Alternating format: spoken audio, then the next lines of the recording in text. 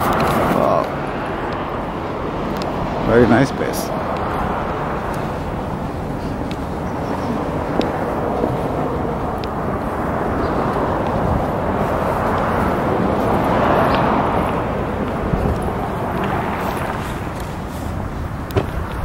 Delmar.